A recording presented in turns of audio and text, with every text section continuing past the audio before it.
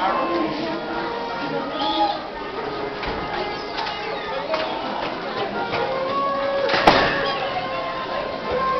sugar booger. Well, let's go eat lunch.